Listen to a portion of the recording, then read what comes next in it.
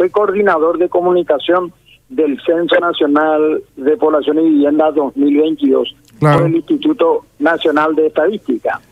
Y mm, realmente ya hay una frenética actividad. Eh, bien sabemos que el Censo Nacional este, va a visitar alrededor de un millón novecientos mil hogares. También esa zona de Itapúa que es bastante productiva, que es bastante digamos, turística, en este momento centraliza uno de los focos de atención del, de lo que es este gran operativo, ¿verdad? Ahí todavía se necesita en la zona de Itapúa eh, censistas y supervisores, o sea que la gente que quiera participar como censista y supervisor y ser parte de esta gran fiesta ciudadana, aún puede hacerlo entrando en las redes sociales del Instituto Nacional de Estadística, www .ine.go.pi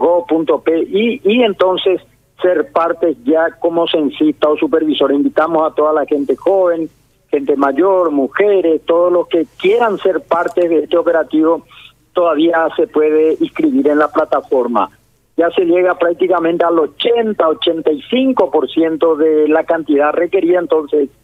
si la gente aún está interesada, hay cupos aún ahí en la zona de Itapúa para que puedan participar y naturalmente eh, lo que se va a medir eh, va a ser muy importante para conocer cómo estamos a nivel de el impacto post-COVID, la situación de la salud, la educación, el empleo, eh, la situación de la discapacidad. hay que recordar también que dentro de este censo se hace el cuarto censo indígena nacional y más de 200 mil paraguayos van a salir ese día, entonces para hacer el censo en los diversos puntos de la República. Y hay que recordar que el censo en la zona urbana es de un solo día, el censo que le, se denomina de hecho, pero en las zonas rurales se va a extender por 15 días más por la eh, distancia que hay a veces entre uno y otro establecimiento en las campiñas. Pero esperamos que esto sea un éxito. En estos momentos las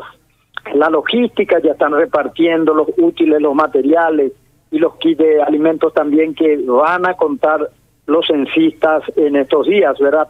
Y este el, el la los talleres de capacitación también ya se han iniciado virtualmente y ya en la última etapa van a ser eh, presenciales en los distintos distritos de la República, compañero Galano. Eh, hay que informar que el decreto del Poder Ejecutivo indica que el operativo se inicia de las 5 de la mañana hasta las 18 horas. En ese periodo de tiempo, eh, ningún ciudadano es recomendable que no se mueva de su hogar, eh, todos van a estar cerrados, eso establece el decreto, tanto supermercados, este, estaciones de servicios, todo lugar donde pueda concitar la atención de la gente de transporte público tampoco se prohíbe la circulación en ese horario. Pero lo que se cree se quiere es más bien hacer conciencia de que eh, la gente eh, respete esta decisión eh, este decreto para que mm, el censo pueda ser un éxito verdad entonces también en la zona de Itapúa que sabemos que es un importante foco turístico y comercial también pues la idea es que este eh, censo sea también un éxito en esta zona del país. La medida que se tenga toda la información requerida,